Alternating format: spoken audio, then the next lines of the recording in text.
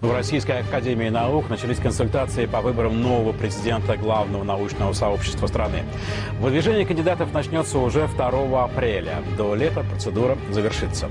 В среду на этой неделе а в российской газете появилась странная статья под заголовком а, «Пойдет ли на рекорд?». Мол, ходят э, разговоры, что ныне действующий президент РАН Юрий Осипов пойдет на новый срок, то есть на рекорд. 22 года президентства уже позади, полет нормальный, можно продолжать. По нашей информации, Юрий Сергеевич выдвигаться все же не собирается. Интрига, впрочем, есть. О состоянии дел и предстартовом волнении Евгений Рожков. Профессор Константин Северинов только что из Вашингтона и, как обычно, с целой сумкой подарков для аспирантов из своей лаборатории. Я привез мух, я привез э, пластик какой-то, научный реагент, который хранятся на холоду.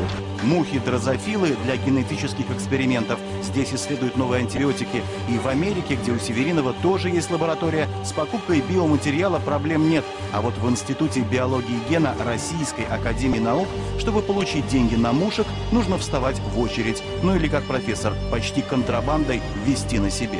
Все, что я знаю, что у меня деньги появляются в лаборатории, которые я могу тратить во второй половине года, в лучшем случае, мы работаем круглый год. Я не могу себе позволить работать только вторую половину года. Да? Даже если деньги появляются, потратить их эффективно на немедленную покупку того, что нам нужно, я не могу. А наука очень динамична. В этом смысле Академия наук является таким пережитком, динозавром из советских времен. Она должна модернизироваться, она должна меняться. В РАН отвечают, это издержки сложного бюджетного финансирования. Не до всех сразу доходит, ведь Российская Академия Наук – это целая империя. 400 институтов, 15 региональных научных центров и больше 116 тысяч человек, среди которых действительные члены, то есть академики, члены-корреспонденты, доктора и кандидаты наук. Но престиж и статус, которые были в советское время, за последние годы Академия растеряла. И сейчас многие воспринимают РАН как закрытую кастовую систему, где любые предлагаемые реформы воспринимаются в штыки. Наблюдаются попытки растащить Академию. То кто-то желает сейчас институтов отдать вузы, кто-то желает сделать госкорпорацию, но нельзя этого делать. Этого нельзя делать, потому что нельзя ломать то, что, что хорошо в данное время.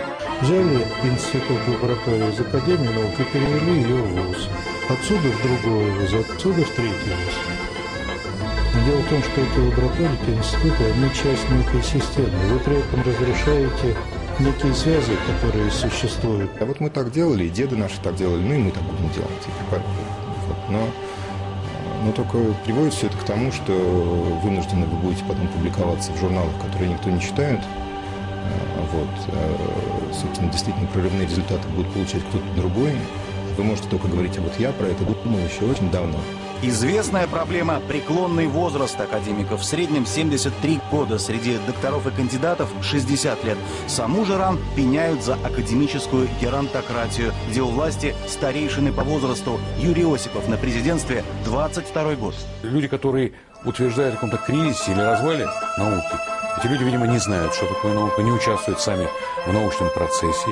И опять же, ее основной кризис – это не просто недофинансирование, а катастрофическое недофинансирование. А вот это как считать. Только Академия наук в ближайшие три года получит из бюджета 111 миллиардов рублей. Плюс еще два раза по столько многочисленные гранты и средства от аренды земли и помещений. На всю же российскую науку планируют потратить почти триллион рублей. И это не учитывая еще средства на военные исследования. То есть денег выделяется все больше. А вот как ими распоряжаются – другой вопрос. Многие в РАН сейчас считают, что руководство перед уходом торопится довести до конца дела с наукой не связанные. Речь о передаче земель Академии под элитную застройку.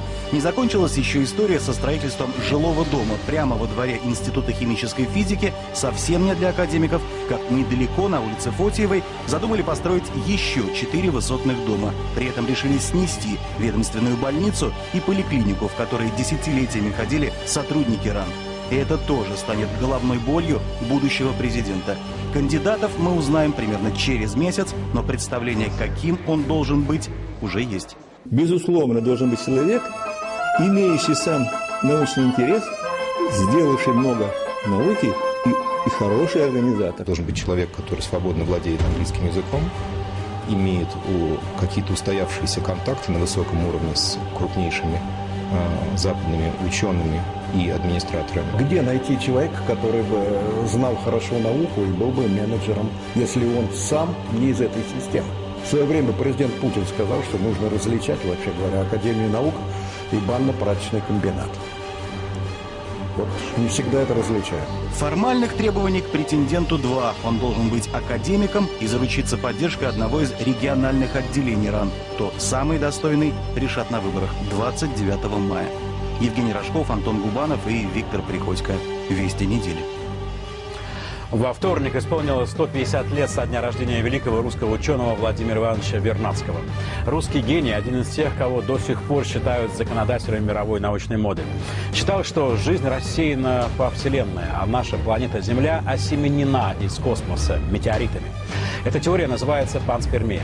Кстати, недавние находки российских ученых неизвестные бактерии подо льдами Антарктиды и американских коллег остатков прежней жизни на Марсе – это в пользу Вернадского, создатель многих научных школ и целого учения о ноосфере, философ, патриот и пророк.